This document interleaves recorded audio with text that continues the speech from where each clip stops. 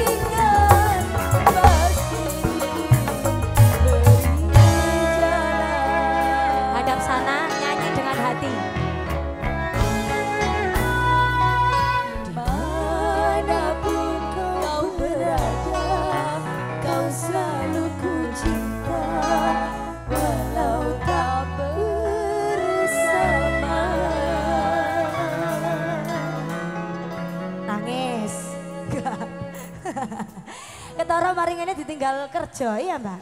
Iyalah sampai semonone. Ini sebuah curahan mas, curahan hati. Samian iki maksudnya di warning loh, rasa seneng-seneng loh ya. Guyu.